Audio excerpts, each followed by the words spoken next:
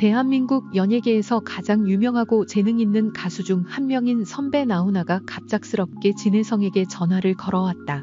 이 전화는 진혜성뿐만 아니라 많은 감정을 남겼다. 말하고 싶은 중요한 일이 있어 선배 나훈아가 대화를 시작했다.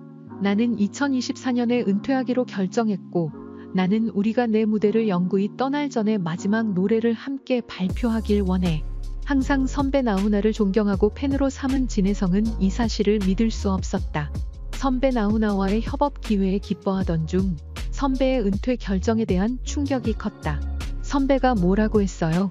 왜 은퇴하려고 하죠? 진혜성은 당황스러워하며 일이 무슨 일인지 이해할 수 없었다. 나훈아는 나이가 들어가서 새로운 세대의 무대를 양보하고 싶다고 나누었다. 그러나 진혜성은 나훈아가 여전히 유명하고 큰 인기를 끌고 있기에 난해했다. 왜 그가 이렇게 갑자기 은퇴하려고 하는 것일까? 혜성아, 나는 연예계를 떠나 평온한 삶과 여행을 즐기고 싶어. 나훈아는 설명했다. 나는 너와 같은 너 같은 젊은 예술가들에게 무대를 내어주고 싶어.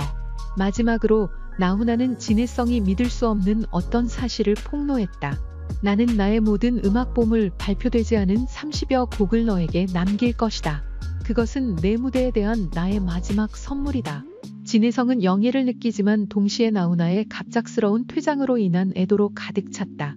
나훈아의 마지막 협업 파트너로 선택된 것에 영광을 느끼더라도 위대한 예술가의 갑작스런 은퇴에 대한 안타까움을 느꼈다.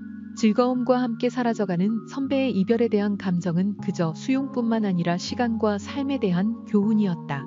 나훈아와 진혜성 사이의 대화는 계속되었지만 처음처럼 흥미로움이 떨어졌다. 진혜성은 마음이 무거워지고